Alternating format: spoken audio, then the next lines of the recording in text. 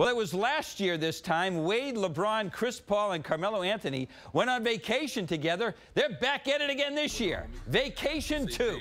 D Wade Snapchatting this video of LeBron and Paul and Wade's wife, Gabby Union, on vacation again. People on Twitter are calling the boys bromantic.